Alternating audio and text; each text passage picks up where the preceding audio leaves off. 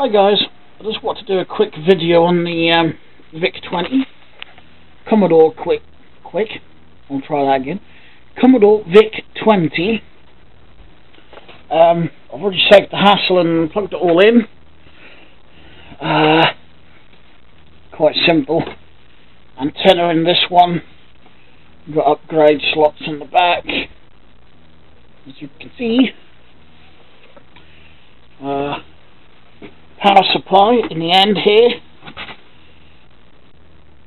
And there's a control port, so I assume that's where the um, joystick would um, plug into. Power switch on this end as well. That's your power adapter. The uh, antenna doofy. I'm, I'm not sure if this is a converter or something. But uh, it's obviously not going to work without it, so here we go. Got the red light on. Ooh, look at that. It works. It actually works. Had a line going right. I don't know what's going on there. The camera doesn't like the TV. But, uh, uh, let's that. There we go. Well, you can see it's on screen. It's working perfectly fine. Uh, can we type anything?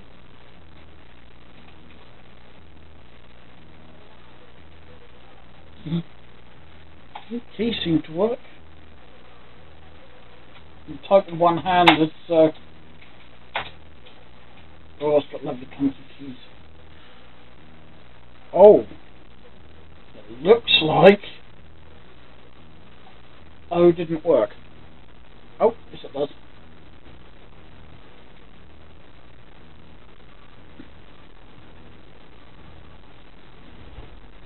Uh, some of the buttons you got to press hard enough. If you don't, they don't work. so do shift and that, there we go. Working absolutely fine. Yeah, the O button's a bit sticky because I've just noticed it didn't appear in how. So yeah, some of these keys you've actually got to thack to get them to work. Um,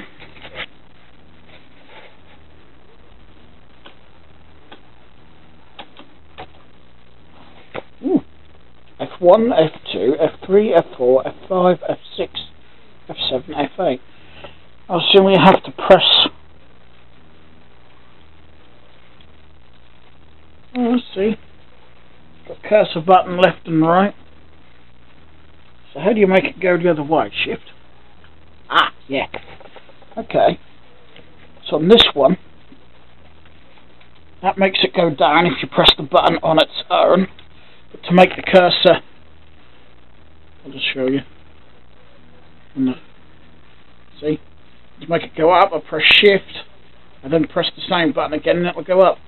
And it works the same for the left right button. So I think all to all I've got to do is uh, do a bit of research on it.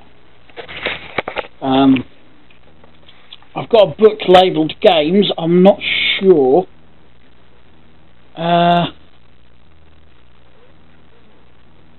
so I haven't got a tape deck, so there's not lot I can do with it now. But yeah, I think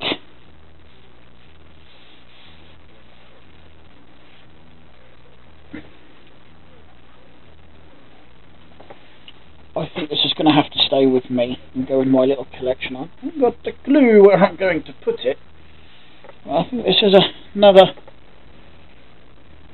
I can't let it go. Sold some of the bits, but there's still enough here to play with. And at least this one's got an on-off switch. So I'll turn that off. I'll turn that off. Yeah, I'll make him an offer for this. I'm not really fussed about all the books, but that's a definite. Ah, what did I just lean on? Oh, that bloody thing. Turn that off, and there we go.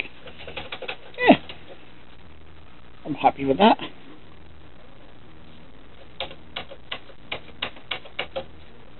I love the sound of old keys. I had um, a friend of mine come up the other day, or come over, and even he said, um, commented on how clunky the keys were on this because I was showing him these. Actually, I ran that one, didn't? Yeah, I did run the Sinclair. He was actually uh, actually these ones are quite soft compared to. No, they are. Oh, they are. These make a different sound, but these are near enough. Same as that. Well, that's that. That's uh, it for this little video. I just wanted to uh, plug it in, make sure it works, and uh, when I test other things, I will um, make videos on those. So um, thanks a lot for watching. Don't forget to like the video and subscribe, and uh, I'll talk to you again in the next video. Bye.